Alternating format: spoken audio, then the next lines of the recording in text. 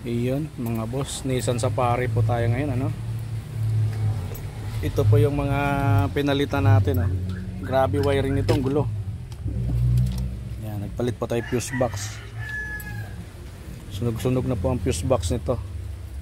Sakit po nito sa sobrang daming wiring na nilagay ng mga unang gumawa. Yan. Overload ang inaabot.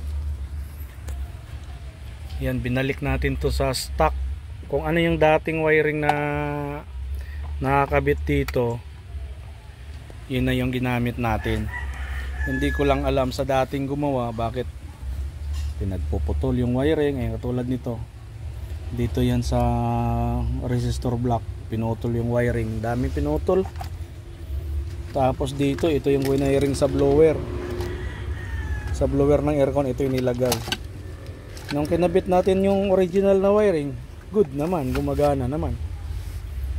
Kaya ito, pag nilin, naglinis tayo ng wiring, ang ginagawa natin, binabalik natin sa original. Yan, good na yung mga wiring, tinanggal na natin lahat yung mga nakakabit. Tapos dito lang tayo sa labas ngayon, tapos na yun sa loob. Finish na yun, finish na. Yan, dito naman tayo sa labas ngayon, yan, may wiring oh. Yan oh dami naka jumper dyan tinanggal natin. Ito pa sa kabila. Yan. Ang dami ring nakalagay dyan tinanggal natin. Hindi ko maintindihan bakit sobrang gulo yung pagkakagawa nito. Mamaya finish na yan. Papakita po natin sa inyo pag na okay na. Pati battery cable oh sagwa ng pagkakalagay sinusuksok lang dyan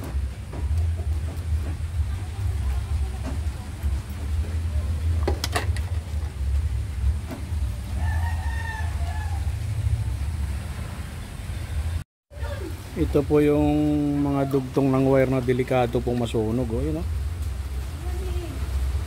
ginawa eh maliit yung isang wire dinugtong sinuksok lang tapos inipit good na Ganon din to kaya nagdikit-dikit oh. Sunog oh. Yan, sunog na yan eh. Buti na lang hindi yan tumuloy. Kung tumuloy yan, tosta na to. Hmm, dugtong na pansamantala. Pero delikado.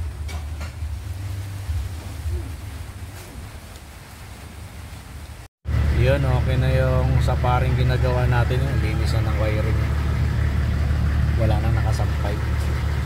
Dati kasi dito nakasampay yan eh. ito original na linya na yan.